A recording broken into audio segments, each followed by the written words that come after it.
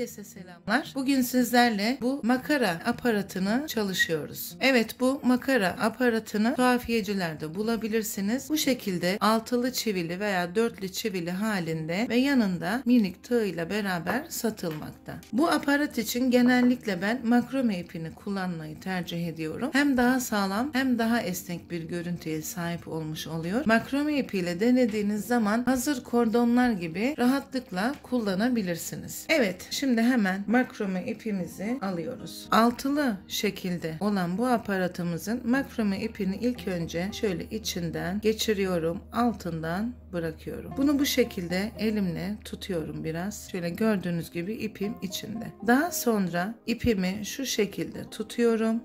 Bakın sağdan sola doğru tutuyorum ve bir çivinin etrafında doluyorum.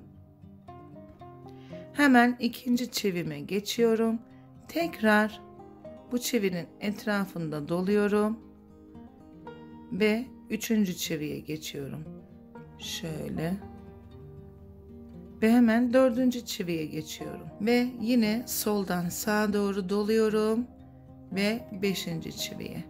Bu şekilde çivilerimizin etrafında sarmaya devam ediyoruz. Şöyle birinci tur bittiği zaman ilk sırada iki kere doluyoruz. Tekrar başladığım çivime geliyorum. Bir, tekrar ikinci çivim, tekrar üçüncü çivi, tekrar dördüncü çivi, tekrar beşinci çivi ve son çivime doladıktan sonra başladığım noktadan ipimi şöyle tutuyorum. Evet kendine ait olan bir tığ var bu şekilde küt uçlu sivri olmayan bir tığ. Şimdi bununla beraber iki kere doladığımız bu çivilerin en alttaki ilmeğini alıyorum. Şu en alttaki ilmek bizim başladığımız bunu sabit elimizle tutuyoruz ilk önce. En alttaki ilmeğini alıyorum ve ikinci ipin üzerinden içeriye doğru atlatıyorum. Tekrar ikinci çivime geliyorum alttaki ilmeğime tığımı batırdım. Bir üsttekinin üzerinden atlatıyorum içeriye doğru. Tekrar üçüncü çivimden alttaki ilmeğime batırıyorum. İçeriye doğru üzerinden atlatıyorum. Tekrar ve son kez 6. çivimden de şöyle atlatıyorum. Evet ilk sıra olduğu için iplerimizi kaydırmamak için biraz zorlanabiliriz. Şimdi ikinci sıramızda ve bundan sonraki sıralarda gayet rahat ve pratik olacaktır. Yine başladığımız noktadayız. Birinci çivimin etrafından sağdan sola doğru doluyorum. Hemen ikinci çivime geliyorum. Tekrar doluyorum ve üçüncü çivime geliyorum. Bu şekilde sağdan sola doğru dolayarak yine başladığım yere geliyorum ve aradan ipimi tutuyorum. Yine iki sıra halinde oldu. Alttaki ilmeği yine alıyorum. içeriye doğru üzerinden atlatıyorum.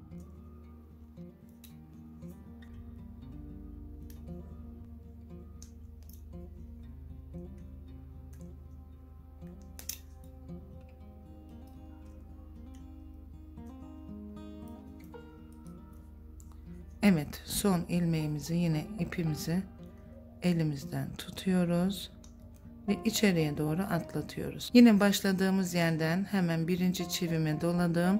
2 3 4 5 ve 6. çivime doluyorum.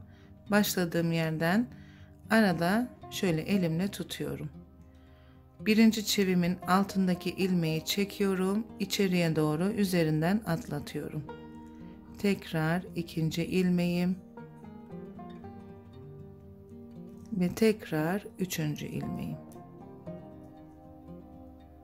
Bu şekilde sürekli altı çivinin etrafında sağdan sola doğru dolayarak iki sıra iki sıra yapıyoruz.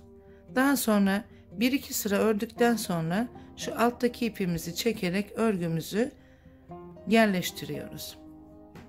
Şimdi 2 sıra 3 sıra örünce örgümüzü bu şekilde kurmuş oluyoruz. Bundan sonraki sıralarımızı artık rahatlıkla dolayabiliriz. Şimdi birinci çevimdeyim. Yine sağdan sola doladım. 2 3 4 5 6. çevimi doladım ve aradan şöyle tutuyorum. Hep bu şekilde iki sıra iki sıra halinde doluyoruz. Alttaki ilmeğimi alıyorum. Hemen içe doğru üstünden atlatıyorum. Daha sonra diğerini atlatıyorum. Daha sonra diğerini atlatıyorum.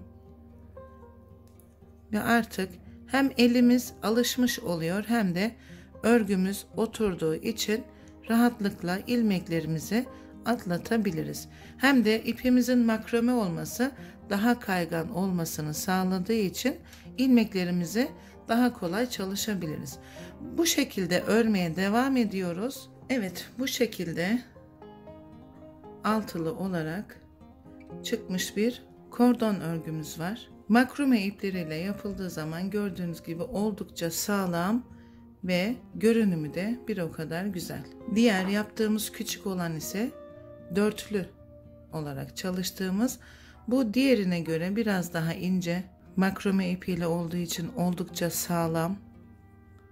İstediğiniz her yerde kullanabilirsiniz. İsterseniz bu şekilde örerek bunları mesela başlangıç yerinden itibaren şöyle birbirine dikerek bir bardak altı olarak kullanabilirsiniz. Bir supla olarak kullanabilirsiniz. Veya bunları birbirine ekleyerek güzel bir paspas elde edebilirsiniz. Şöyle diktiğimizde daha sıkı bir görüntü olacaktır. Bunu daha da büyüterek hem artan iplerinizi değerlendirmiş olursunuz hem de güzel bir paspas modeline veya bir supla modeline sahip olmuş olursunuz. Ya da ördüğünüz örgü çantaların, sapı kopmuş çantalarımızın bu şekilde saplarını örerek yapabilirsiniz. Daha ince olan kordonumuzu ise sweatshirtlerimizdeki kapşonları bunların içerisine geçirebilirsiniz veya bağcığı kaybolmuş eşortmanlarımızın bağcığı olarak kullanabilirsiniz. Çeşitli yerlerde kullanabileceğiniz bu şekilde güzel bir kordon örgü yapımıydı arkadaşlar.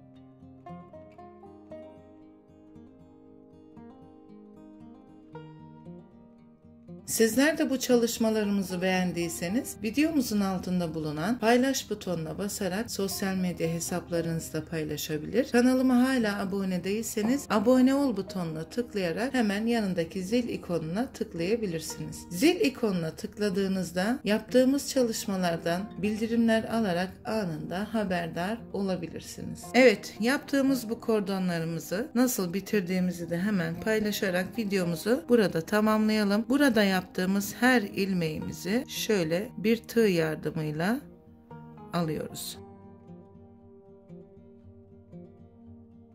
Teker teker bunları tığıma alıyorum.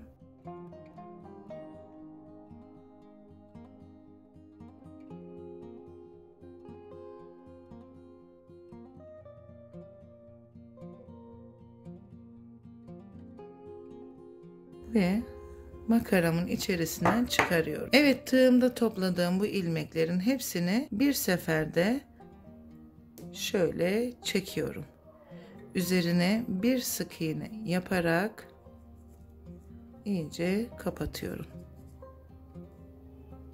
Tekrar bir sık iğne yapıyorum. Şöyle biraz pay vererek kesiyorum. Ve bu şekilde kapatmış oluyoruz. Buradaki ipimizi de yine şöyle karşılıklı olarak alıp büzdürdüğümüzde iki tarafında aynı görüntüye sahip olduğunu bu şekilde görüyoruz. Bu iplerimizi şöyle tığımızı içeriye doğru batırıp iplerimizi içine doğru çekiyoruz.